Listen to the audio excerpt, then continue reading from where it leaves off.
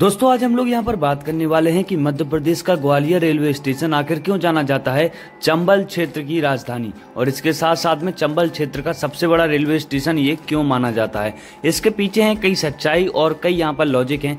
तो आज आपको इस एक वीडियो में सारी बातें क्लियर हो जाने वाली हैं। और आखिर ग्वालियर रेलवे स्टेशन से कितनी रेलवे लाइनें निकलती हैं, इसकी भी पूरी संपूर्ण जानकारी देंगे। कितनी ट्रेनें रुकती हैं, इसकी भी पूरी संपूर्ण जानकारी देने वाले हैं। और आगे चल के, यानी कि आज से दो साल बाद ये स्टेशन की जो रूपरेखा है, वो दोस्तों कैसी होने वाली है? यानी कि इसका स्ट्रक्चर कैसा होने वाला है और इसका फ्यूचर क्या होगा? ये सारी बातें आपको इस एक वीडियो में ज़रूर से देखने वाली हैं। तो चलिए शुरू करते हैं बिना किसी विलंब के। सबसे पहले एक छोटा सा परिचय आप सभी लोगों को दे देना चाहता हूँ ग्वालियर जंक्शन के बारे में। ग्वालियर जंक्शन, ग्वालियर डिस्ट्रिक्ट का सबसे बड़ा रेलवे स्टेशन है और ये एनसीआर यानी कि नॉर्थ सेंट्रल रेलवे जोन के अंडर में आता है। इसका डिवीज़न की बात करें तो वो है झांसी डिवीज़न और इसका हेडक्वार्टर प्रयागराज यानी कि उत्तर प्रदेश में स्थित है। अब इसके साथ साथ में अगर हम यहाँ पर प्लेटफॉर्म की बात करें तो नंबर ऑफ़ प्लेटफॉर्म फोर है अभी, वर्तमान में। और इसको बढ़ा के छः करने की तैयारी चल रही है। और रीडेवलपमेंट जो इसका जो काम है, वो अभी यहाँ पर वर्क अंडर द प्रोग्रेशन में है। यानी कि इसका काम जो है अभी जो है अभी यहाँ पर शुरू है और उसको देखते हुए यहाँ पर छह प्लेटफॉर्म बनाए जाएँगे और इसके साथ में एक लंबा सा कॉन्कोर्स के साथ में काफ़ी वीआईपी एयरपोर्ट की तर्ज पर इसको निर्माण करने के लिए इसका काम अभी जारी है। अगर देखा जाए तो 175 ट्रेनें प्रतिदिन यहाँ पर रुककर आगे बढ़ती हैं। यानी कि काफ़ी बिज़ी रेलवे स्टेशन है और इसके साथ में, चार प्लेटफॉर्म के साथ में ये आंकड़ा काफ़ी ज़्यादा भी माना जाता है। दिल्ली चेन्नई मुख्य लाइन पर स्थित एक इंपॉर्टेंट रेलवे स्टेशन है। सारी रेल लाइन की जानकारी अब आपको हम लोग मैप के ज़रिए समझाते हैं कि यहाँ से जो है मैप में कितनी रेलवे लाइनें निकलती हैं। तो चलिए दोस्तों मैप के ज़रिए आपको समझाते हैं कि ग्वालियर जंक्शन आखिर इतना महत्वपूर्ण रेलवे स्टेशन क्यों माना जाता है भारतीय रेलवे में।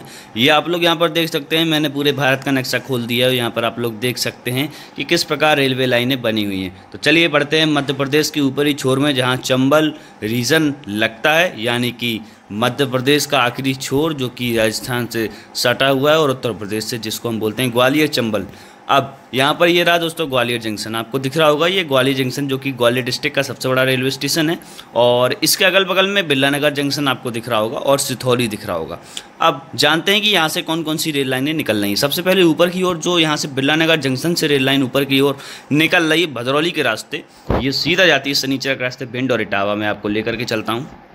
ये देखिए दोस्तों, ये रहा इटावा और ये रहा दोस्तों भिंड अब पढ़ते हैं ग्वालियर की ओर, ये हो गई पहली लाइन। अब यहाँ से हम लोग अगर और ऊपर जाएँगे तो यहाँ से रायरू से एक लाइन और कटती है, जो कि जाती है सीधा जौरा आलापुर से सीधा शिवपुर तक।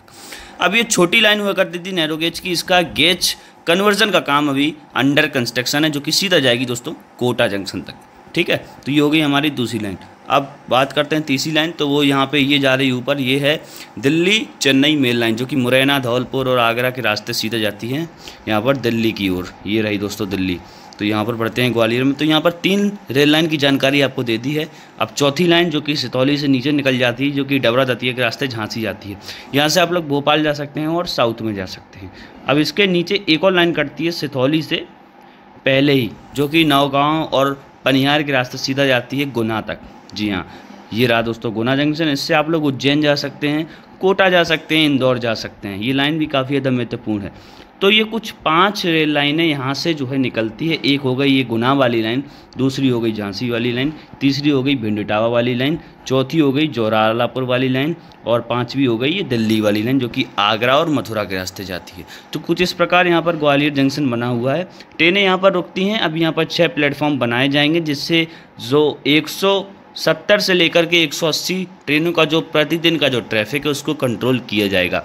तो मैं उम्मीद करता हूँ आपको वीडियो काफ़ी अच्छी लगी होगी। यदि आपको वीडियो अच्छी लगी है तो कमेंट में बताइएगा ज़रूर।